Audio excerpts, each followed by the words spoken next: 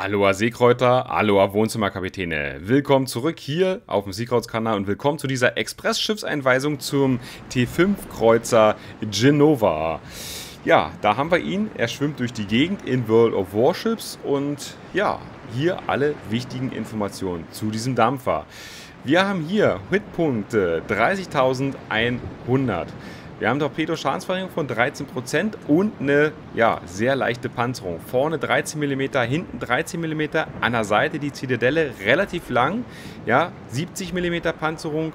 Obendrauf, die Kasematten sind mit 16 mm gepanzert und äh, die ähm, Aufbauten haben 10 mm. Das heißt, es ist wirklich super leicht. Also zum Beispiel eine Genova, die euch beschießt, die hat nur ganz wenige Punkte, wo sie nicht penetrieren kann.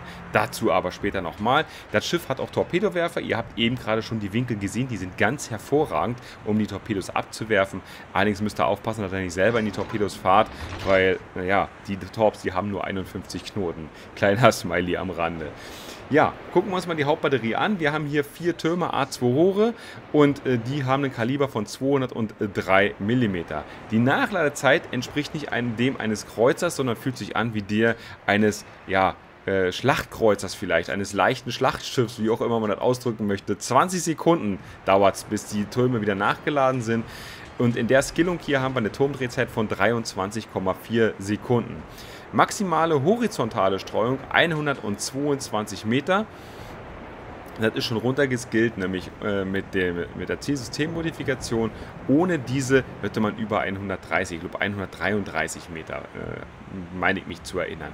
Dann gibt es hier zwei verschiedene Varianten. Wir haben hier einmal die äh, Semi-Piercing-Shells, ja, also SAP, ja, Semi-Armor-Piercing-Shells. So viel Zeit muss sein. Und dann gibt es die ganz normalen AP-Granaten. Die SAP-Granaten hier penetrieren 54 mm Panzerung, also egal ähm, auf welchem Schiff sozusagen, und machen 4850 Alpha Damage. Dann gibt es noch die AP-Granaten, ähm, die haben hier Standard-Abprallwinkel 0 ähm, bis 30 Grad, 31 bis 45 Grad gibt es dann die Chance auf Penetration ab dann eben 45 oder 45,1 äh, Grad bis 90 Grad ist, äh, findet die Penetrationsberechnung statt. Die Zündverzögerungen sind 0,033 Sekunden und wenn ihr dann in der Zeit die, Penetra äh, die Panzerung penetriert habt, dann gibt es eben 4700 Alpha Damage, wenn ihr die Zitadelle trefft.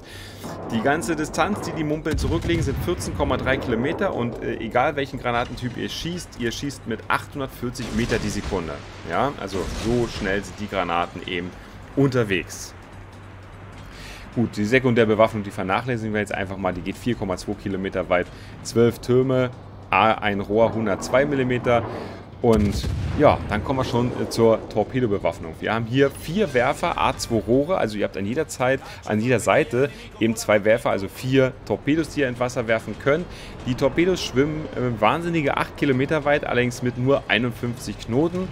Die Torpedos ist, sind 1 Kilometer auch nur sichtbar und der Alpha-Damage des Torpedos beträgt 9067. Das ist wirklich nicht dolle. Die Momans zum Beispiel, die hat äh, nochmal eine ganze Ecke mehr. Die kommt auch 8 Kilometer weit als Ausnahme und macht 14.400 Alpha-Damage. Ne? Also das ist schon mal ein ganz großer Unterschied. Aber es gibt noch einen. Die Nachladezeit hier beträgt nur 47 Sekunden von dem Torpedowerfer. Bei der Momans sind das zum Beispiel 69 Sekunden. Ne? Nur mal so, dass ihr Vergleichswerte habt. Dann geht es weiter in Richtung Flak. Ihr habt schon gesehen, so stark ist die Flak hier nicht. Wir haben hier nur Mittel- und Langstrecke. Die Mittelstrecke geht bis 3 Kilometer, macht 26 kontinuierlichen Schaden. Und die Langstrecke geht dann hoch äh, bis 4 Kilometer, macht 70 kontinuierlichen Schaden und hat genau eine Explosion, die dann 956 ja, Alpha-Damage sozusagen macht. Wenn das Fliegerchen da drin ist, dann tut das schon ordentlich weh bei den Fliegern, aber diese eine Salve macht das Leben jetzt echt nicht schwer. Dann geht es weiter. Höchstgeschwindigkeit 36,2 Knoten, Wendekreis 660 Meter, 8,6 Sekunden Ruderstellzeit. Ihr seht selbst, das Schiffchen ist saumäßig schnell und ich persönlich finde es auch super wendig. Ja? Das muss man einfach sagen. Wenn man dieses Schiff auf Distanz spielt und damit die, äh, also diese bis zu 14,3 Kilometer oder wenn ihr das Spotting-Flugzeug benutzt, was ihr hier durchaus dabei haben solltet, Aufklärungsflugzeug, dann kommt ihr sogar 17,2 Kilometer für eine kurze Zeit. Äh, dann ähm, ja, könnt ihr wirklich richtig gut auch dem Feindbeschuss ausweichen. Ja, das ist äh, ein, ein Skill, die dieses Schiff mitbringt, den man auf jeden Fall nutzen sollte. Kommen wir noch ganz kurz zur Verborgenheit. Wenn ihr so skillt wie ich, sieben, äh, sind hier 10,3 Kilometer drin und zur Luft 7,5. Wenn er im Nebel steht und schießt, das lässt sich ja eben nicht verändern, sind es eben 6,6 Kilometer. Gut, dann schauen wir weiter. Wir haben hier eingebaut äh, Hauptbewaffnungsmodifikation 1, Antriebsmodifikation 1 und Zielsystemmodifikation. Ja, die äh, Hauptbewaffnungsmodifikation ist ganz klar, äh, die, äh, das Risiko, dass Hauptbewaffnung ausfällt, also zum Beispiel die Hauptgeschütze oder eben auch die, die, äh, die Torpedowerfer, wird halt äh, reduziert. Die sind, ähm, die Überlebensfähigkeit der Bewaffnung wird erhöht und ja, die Reparaturzeit der Module wird eben äh, verkürzt, wenn sie dann doch mal ausfallen sollten. Dann in Slot 2 eben diese Antriebsmodifikation 1. Ganz wichtig, dieses Schiff neigt extrem dazu, ganz schnell Ruder, äh, ähm, Ruderausfall oder Antriebsausfall zu bekommen. Also besonders Ruderausfall ist hier ganz, ganz häufig zu sehen, wenn ihr nämlich am Popo getroffen werdet. Deswegen habe ich hier die Antriebsmodifikation auch mit reingeskillt, damit äh, sie eben nicht so häufig ausfallen. Und dann in Slot 3 hier, wie gesagt, der Zielsystemmodifikation. Da äh, verringert die Streuung und ja, die Torpedowerfer drehen sich einen Ticken schneller. Dafür habe ich es, das ist der Sinn, warum ich es dabei habe. Zu den Verbrauchsmaterialien kann man sagen, gibt eben ein Schadensbegrenzungsteam, was 60 Sekunden lang äh, eine Aufladezeit hat. Ähm, wenn ihr nachher so skillt wie ich, dann sind es sogar nur noch 57 Sekunden. Ja, und damit löscht ihr dann eben die Brände, Flutungen oder stellt Sachen wieder her, die ausgefallen sind. Ne? Und dann im, Verbra im zweiten Verbrauchsmaterial-Slot könnt ihr wählen zwischen Jäger oder Aufklärungsflugzeug. Die Jäger, äh, davon startet ihr äh, zwei Stück. Auf einmal drei Kilometer fliegen die um euch herum. 85,5 Sekunden ist hier die, äh, ja, die Nachladezeit der Jäger. Ne?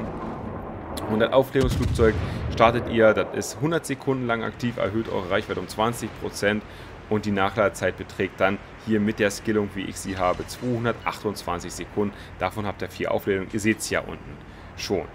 Ja, das ist äh, das, was man dazu sagen kann. Und dann können wir uns noch schnell einmal die Signale angucken. November Echo Set 7 für mehr Flakschaden. Habe ich in der ersten Reihe dann oben Juliet Whiskey Una One, um eine höhere Flutungschance zu haben. In der zweiten Reihe von links beginnt November Foxtrot, um eben die Nachladezeit der Verbrauchsmaterialien zu reduzieren. Sierra Mike, um die Höchstgeschwindigkeit des Schiffes zu erhöhen. Äh, Juliet Yankee Biso 2 Flutungs äh, Recovery Time, also die Zeit, wo die Flutung quasi wieder behoben wird, wird um 20% reduziert. Dann eben die, das Feuerlöschen wird um 20% äh, schneller durchgeführt. Und dann natürlich ganz wichtig die Anti-Deto-Flagge, die ihr hier ähm, mit drauf haben solltet, weil ihr sonst einfach ähm, ja, overmatched werdet. Oder das werdet ihr sowieso, aber so ist das Risiko ein bisschen geringer, dass ihr sofort explodiert. Dann gibt es hier noch eine nette Tarnung, die hat die Standardwerte Typ 9 Tarnung minus 3% Erkennbarkeit zur See, plus 4% Streuung der Gegnergranaten, Schiffskosten nach dem Gefecht minus 10%, also für die, für die Reparatur und dann, oder die Wartung, und dann gibt es noch 50% extra EP nach dem Kampf. So, und zu guter Letzt kommen wir dann noch schnell zum Kapitän, bevor ich was zu dem Schiff an sich noch mal ein bisschen was sagen möchte. Also, obere Reihe beim Kapitän, vorrangiges Ziel und präventive Maßnahmen eben ausge, äh, aus ähm, eben schon gesagten Gründen. Ja, äh, ihr müsst wissen, wie ihr aufgeschaltet werdet, um eventuell aus, äh, ausweichen zu können. Primitive Maßnahmen, damit eben möglichst lange die Module erhalten bleiben. In der zweiten Reihe Elite-Schütze, um die Türme schneller drehen zu können.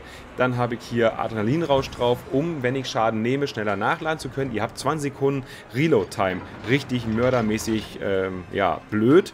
Äh, dem müssen wir entgegenwirken. Wenn er Schaden nimmt, ladet er dafür schneller nach.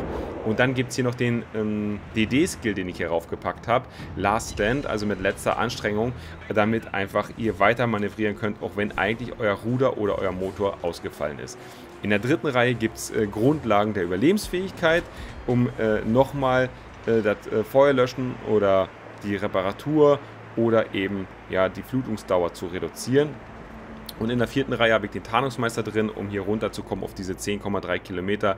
Und dann habe ich Radio Location drin, äh, wo euch dann äh, ja, so eine Art Näherungssensor, hier dieser weiße Balken, den ihr jetzt quasi diese, diese, diesen, diesen Halbmond sozusagen, den ihr gerade seht, äh, das ist die Radio Location, da wird euch der nächste Gegner eben in der Nähe angezeigt. So, dann kommen wir zum Dampfer an sich. Wie gesagt, ihr solltet die Geschwindigkeit ausnutzen, ihr solltet die Reichweite ausnutzen. Das ist, ist quasi wirklich eine, ja, das Wichtigste bei diesem Dampfer. Äh, immer schön in Bewegung bleiben oder eben versuchen verdeckt zu operieren, sodass ihr gerade über Inseln rüberschießen könnt. Also eine Sachen. Überlegt, gut, wohin ihr zielt mit den SAP-Granaten. Das ist entscheidend, um vernünftig Damage anbringen zu können. Zielt nicht auf die Zitadellenhöhe oder so eine Sachen. Versucht Aufbauten zu treffen oder die Spitze oder die Ende, das Ende eines Schlachtschiffs. Da sind die Panzerungen meistens dünner und ihr kommt da, da mit den SAP-Granaten eben durch. Ja? Das ist äh, ganz, ganz wichtig. Weil sonst äh, ja, bleibt einfach nicht so viel kleben. Ähm, ja, Torpedos sind eher mal, ich sag mal, nochmal eine Reservewaffe ja, wenn es dann wirklich in den Nahkampf geht, weil man nicht vermeiden kann, weil man nicht mehr irgendwie wegdrehen kann und dann irgendwie hier so Breitseite zeigen möchte. Hier kann ich Beschuss nochmal ganz gut ausweichen, ganz schnell. Also ihr seht, da ist schon einiges drin. Mir hat der Dampfer sehr viel Spaß gemacht, ähm, von der Wendigkeit her. Ja, die Nachladezeit ist echt nervig, muss ich ganz ehrlich sagen. Man muss gut überlegen, wann man diese Mumpeln wie einsetzt.